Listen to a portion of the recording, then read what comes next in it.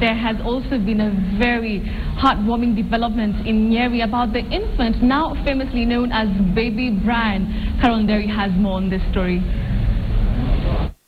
It is 10 a.m. Wednesday morning.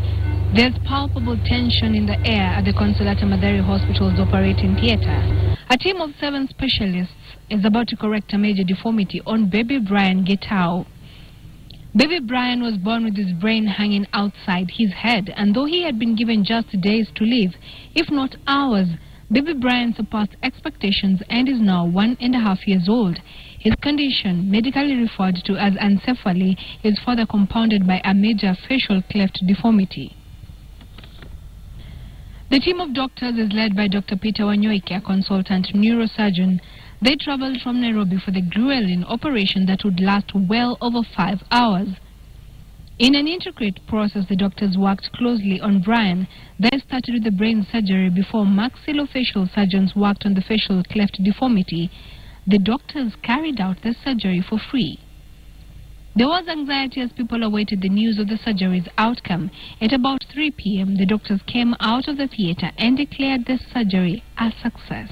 Brian Gitau, a baby that we have had in our hospital with some uh, disformities, has been operated on and the surgery has been very successful. What we have done is to successfully excise or remove that growth and the part of the brain that was not functional because of where it was has been successfully removed.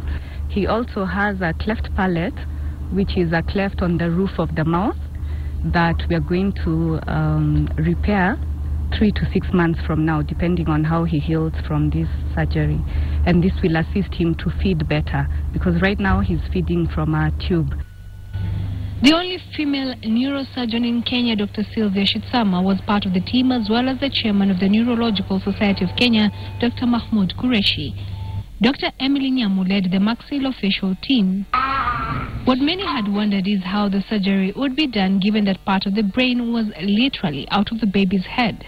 It had been claimed that Brian's mother had disappeared after learning of her son's precarious condition. 22-year-old Elizabeth Nyambura, the baby's mother, however, was at the hospital, camping out at the theater awaiting the outcome. She denied abandoning her son, saying that the medics at Kenunga dispensary where she gave birth had given baby Brian just 12 hours to live. Nimefurahia kwa usaidizi ya Brian, hivyo nawashukuru. Nyambura, a class 8 dropout, was accompanied by her mother. Brian's grandmother said she would assist in giving him the best care she would once Brian is discharged from the hospital. Brian akipona tutashukuru Mungu. Tulikuwa tunamwombea eh, although tulikuwa na shida kidogo. Brian will remain in the care of the doctors at Mathari Hospital, led by pediatrician Dr. Agnes Midamo, who has been tending to him since he arrived at the hospital when he was just a day old. He will require close monitoring.